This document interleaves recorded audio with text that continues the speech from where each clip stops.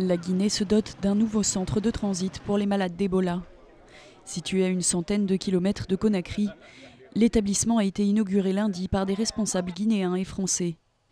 Il a pour objectif de soulager la pression exercée sur les centres de la capitale, qui accueillent la grande majorité des patients soupçonnés d'avoir contracté le virus. Le centre de transit, c'est un centre où les malades Ebola ou suspects d'Ebola sont euh, gardés pour être euh, mis en sécurité par rapport à leur famille, pour être interrogés, pour être examinés et pour recevoir les premiers soins dans l'attente des résultats de laboratoire qui, s'ils confirment qu'ils sont Ebola, permettront de les envoyer dans un centre de traitement. Suite à l'appel du président Alpha Condé, quelques 30 formateurs français ont été envoyés dans le pays pour appuyer les forces locales dans leur lutte contre la maladie.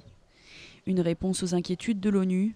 La semaine dernière, l'organisation internationale avait épinglé la France, lui reprochant de tarder à respecter ses engagements sur la mobilisation des moyens de lutte contre Ebola en Guinée.